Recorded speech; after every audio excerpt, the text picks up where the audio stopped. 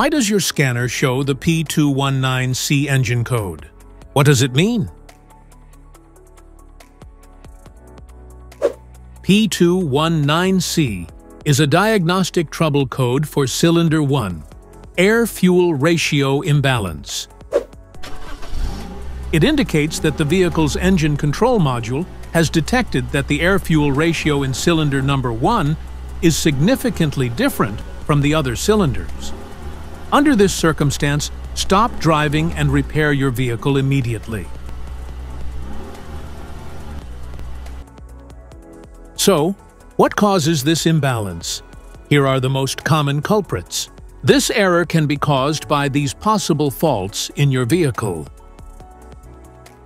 Faulty oxygen sensor. Mass airflow sensor issues.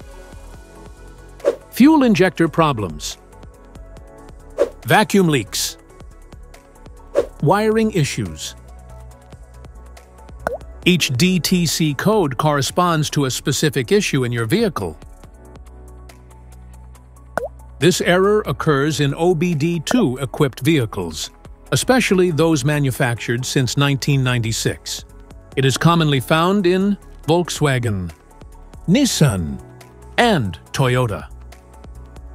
If you want to fix this error code, let us know in the comments section.